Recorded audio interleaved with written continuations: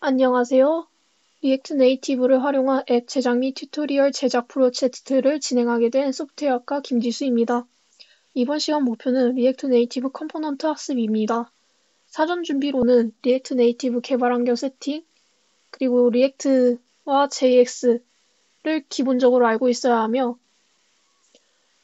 필수는 아니지만 챕터 1 React Native 개발 환경 세팅 tutorial 강의 시청을 해주시면 좀 더 원활한 tutorial 강의 시청이 될 것 같습니다. 실습 시간에 사용한 코드는 해당 GitHub 링크에 업로드했기 때문에 참고가 필요하신 분은 링크를 찾아주시면 좋겠습니다. 목차는 다음과 같습니다. 이번 시간에는 앞으로 앱을 제작하면서 사용할 React Native 라이브러리 component에 대해 학습하겠습니다. 먼저 React Native component 실행 원리에 대해 간단하게 짚고 넘어가겠습니다. 저번 tutorial 영상에서 React Native는 component를 iOS, 안드로이드 환경에 맞게 컴파일을 한다고 언급했습니다. React Native에서 많이 사용되는 component 중 View와 TextInput component가 있는데요.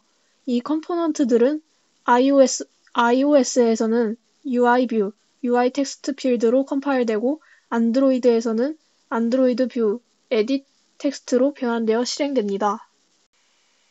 앞으로 Timewise를 제작하면서 다룰 component는 React Native component와 외부 라이브러리 component 두 종류로 나뉘어집니다. React Native component에는 View, Text, Pressable, Button, FlatList component가 있고 외부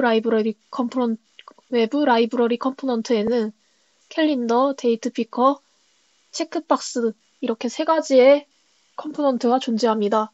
이번 시간에는 저 React Native component에 대해서 알아보겠습니다.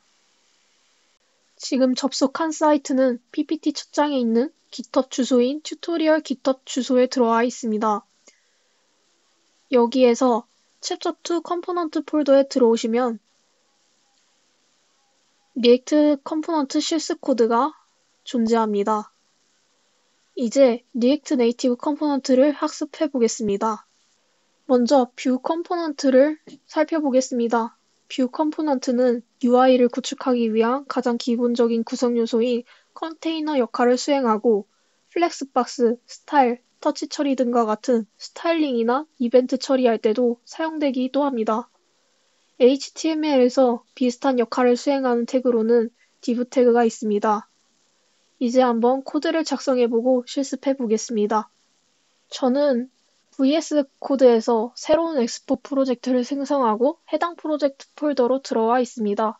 여러분도 터미널에 이와 같은 npx create expo app 그리고 파일명을 입력해서 프로젝트를 생성하시면 될 것 같습니다. 코드를 설명드리기 위해 다시 GitHub에 돌아왔습니다. View를 사용하기 위해서는 먼저 React 라이브러리에서 import 해와야 합니다. import 해온 View는 함수형 component 선언부에 return문 내부에 이렇게 선언하여 사용할 수 있습니다. exView라는 컴포넌트는 View component 내부에 또 View component로 중첩되어 있는 구조로 선언되어 있습니다. View component는 style property를 통해서 객체를 전달받아 styling을 할 수 있습니다. 바깥쪽 View component는 container 스타일 객체를 전달받았으며 내부의 View component는 child container 객체를 전달받아 styling을 하였습니다. 스타일 객체는 StyleSheet 객체를 통해 정의할 수 있는데 이 StyleSheet 객체 또한 React 라이 React Native 라이브러리에서 인풋 해야 합니다. 그러면 이 적용한 property에 대해서 간단하게 설명을 드리겠습니다. justify content는 중심축의 수직 방향으로 정렬 하는 property이며 container 객체에서는 중앙 정렬을 했습니다. 그러면 다음은 align items는 items property는 수평 방향으로 정렬하는 property이며 container에서는 중앙 정렬을 설정했습니다.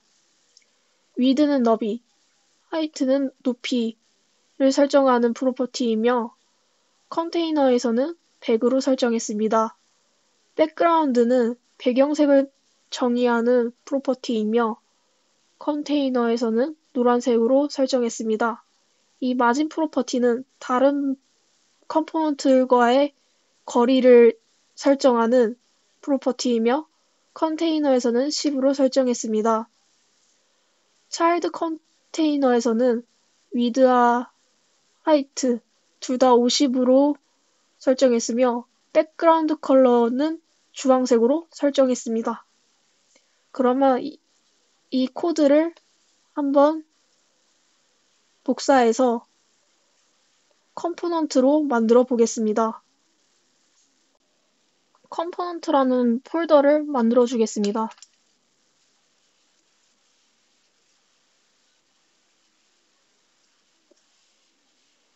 이 폴더 안에 ExView.js 파일을 만들어주고 아까 그 코드를 붙여넣기 하겠습니다.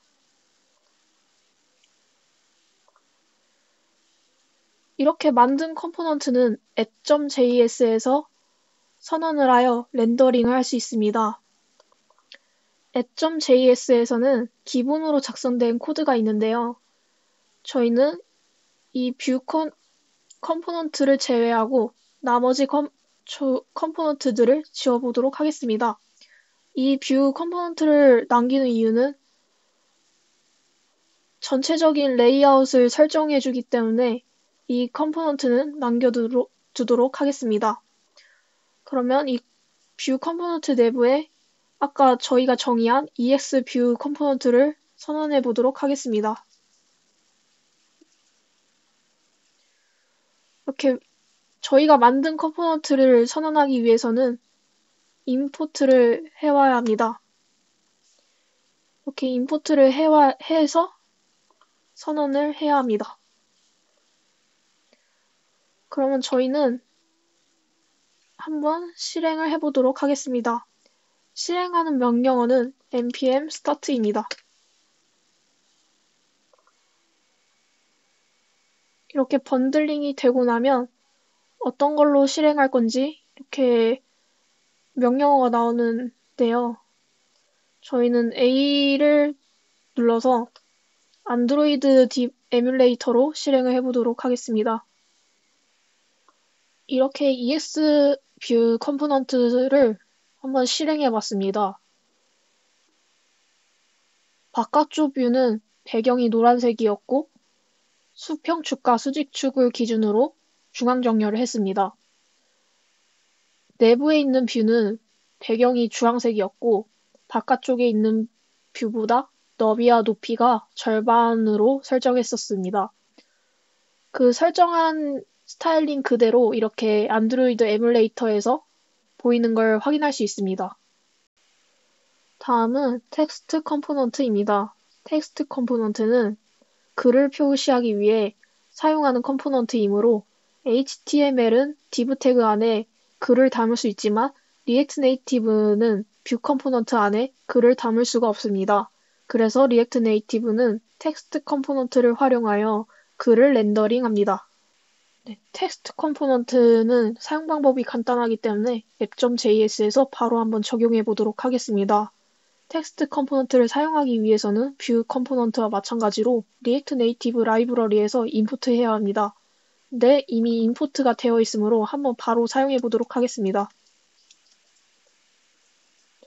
저희는 Hello World를 한번 찍어 보도록 하겠습니다. 저장을 해서 에뮬레이터를 실행해 보면 이렇게 바로 반영이 되는 걸 확인할 수 있습니다. 다음은 text input component입니다. text input component는 입력값을 받을 때 사용됩니다. 저희는 앞으로 만들어갈 타임와이즈에도 할 일을 입력받을 때 텍스트 인풋을 사용할 예정입니다. text input 코드를 한번 실행해 보기 전에 간단히 설명해 보도록 하겠습니다. text input 컴포넌트에는 주요 property가 있습니다. 하나는 value로 초기 값을 설정합니다. 그리고 다른 하나는 onChange text property로 이 프로퍼티는 텍스트가 변경할 시 호출할 함수를 받으며 주로 상태 변화 함수를 넘겨받아 텍스트의 상태 값을 변경합니다. 저희 예제 코드에서는 text input에 입력, 글을 입력하면 텍스트 component로 값이 출력됩니다. 한번 예제 코드를 복사해서 실행해 보도록 하겠습니다. 네, 코드를 복사해서 VS 코드로 이동합니다. 그리고 component 폴더 안에 파일을 하나 생성하겠습니다. 파일 이름은 extext input js로 설정하겠습니다. 이 파일을 만드실 때 주의할 점은 만약에 코드를 복사해서 실행해 보신다면 이 코드의 component 이름과 일치를 일치해야 합니다. 네, 그러면 한번 이 extext input 컴포넌트를 app.js에서 선언을 선언을 하고 한번 실행을 해보도록 하겠습니다. 네, 이렇게 저장을 해주면 안드로이드 에뮬레이터에 이렇게 자동으로 반영이 됩니다. 여기에 글을 입력하면 이렇게 바로 아래 텍스트 component로 rendering이 되는 모습을 확인할 수 있습니다. 다음은 pressable component입니다. 하위 component에 pressable component로 감싸면 하위 component를 클릭할 때마다 정의되는 이벤트가 실행됩니다. onPress property에 이벤트 함수를 넘겨주면 클릭할 때마다 해당 함수가 실행됩니다. 저희는 이전에 만든 EXView component를 pressable component로 감싸서 실습을 해보도록 하겠습니다. app.js로 왔습니다. 먼저 EXView component를 다시 선언해 주겠습니다. 그리고 이 EXView component를 pressable component로 감싸줍니다. 이 press, pressable component도 React Native 라이브러리에서 import해야 합니다.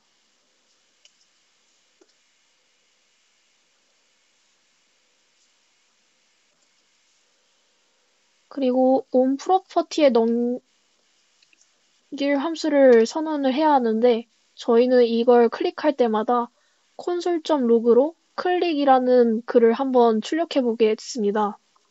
그러면 한번 함수를 만들어 보겠습니다.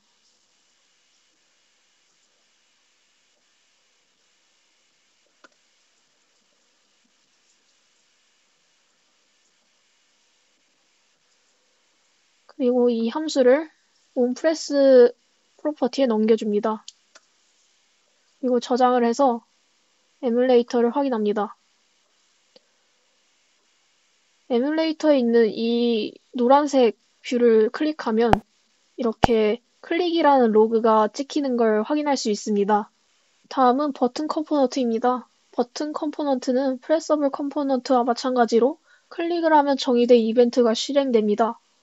하지만 pressable component와 차이점은 pressable component는 하위 component가 필요했지만 버튼 component는 정의된 스타일이 존재하기 때문에 하위 component가 필요하지 않습니다. 어플리케이션과 버튼의 스타일이 맞지 않을 경우가 있는데요. 이런 경우에는 pressable component를 사용을 해서 custom 버튼을 생성하기도 합니다. 저희는 버튼 component에 대한 실습을 해보도록 하겠습니다.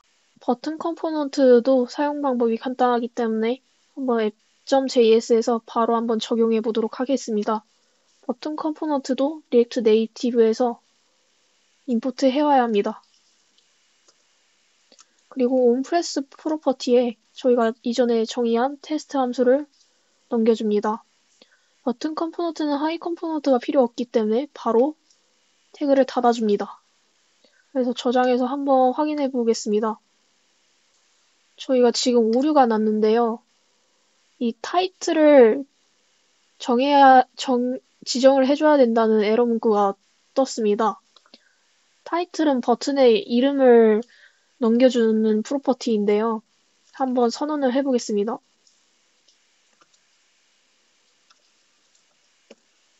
다시 저장을 해서 확인해 보겠습니다. 이렇게 버튼이라는 이름으로 버튼이 생성된 걸 확인할 수 있습니다. 이 버튼을 클릭하면 저희가 이전에 정의한 클릭이라는 콘솔 출력이 이렇게 출력되는 걸 확인할 수 있습니다. 다음은 flat list component입니다. flat list component는 목록을 표시하고 목록이 많을 경우 스크롤을 할 수 있는 component입니다. 대량의 데이터를 효율적으로 관리하고 화면에 보이는 항목만 rendering하기 때문에 성능을 최적할 수 있습니다. 저희는 앞으로 제작할 타임와이즈에서는 to-do를 목록으로 표시할 때 이 flat list를 활용할 예정입니다. flat list component를 사용하기 위해서는 각 항목에 대한 키를 설정해야 합니다. 그래야 목록에서 변경된 항목을 더 효율적으로 식별할 수 있기 때문입니다. 주요 property로는 표시할 데이터 배열을 넘겨받는 data property, 각 데이터 항목에 대해 어떻게 rendering할지 구조화한 component 함수를 넘겨받는 render item property, 그리고 각 항목의 고유의 키를 추출하는 함수를 넘겨받는 key extractor property가 있습니다. 네, 먼저 코드를 실행하기 전에 예시 코드에 대해서 설명드리겠습니다. 먼저 데이터는 flat list component를 사용하여 표시할 더미 데이터입니다. 배열에는 각 객체들이 들어있는데 각 객체는 아이디와 타이틀이 존재합니다. 아이템 함수는 각 항목이 어떻게 표현될지 구조화한 component 함수입니다. 해당 함수는 render item property에 전자, 전달됩니다. 이 render, render item에 전달된 함수는 아이템 객체를 매개 변수로 전달받을 수 있는데 이 아이템으로 아이디와 타이틀에 접근할 수 있습니다. ex flat list component 함수는 flat list를 선언한 함수입니다. 특정한 사이즈로 정의된 view에 flat list가 감싸진 구조로 선언되어 있습니다. 이 flat list property의 data property는 위에서 선언한 더미 데이터인 데이터 객체를 넘겨받고 render item property는 위에서 선언한 아이템 함수를 넘겨받습니다. key extractor property는 아이템의 아이디를 키 값으로 정의한다는 함수를 넘겨받습니다. 네, 저희는 코드를 복사해서 실행을 해보겠습니다. component 폴더 안에 ex flat list.js 파일을 생성해 줍니다. 이 파일을 생성할 때 마찬가지로 여기 외부에서 내보낼 component 함수 이름이랑 파일 이름이랑 같아야 합니다. 저장을 한 뒤 app.js에 한번 선언해 보겠습니다. 이전에 사용한 코드들을 주석 처리하고 ES 랜 리스트를 가져옵니다. 저장을 한 뒤 emulator를 확인해 보겠습니다. 이렇게 특정한 사이즈의 view에 안에 항목들이 나타난 걸 확인할 수 있습니다. 지금까지 리액트 네이티브 라이브러리에 있는 기본 component에 대해 알아보았습니다. 다음 시간에는 외부 라이브러리를 설치하여 사용하는 component와 객체에 대해 학습하겠습니다. 강의를 들어주셔서 감사합니다.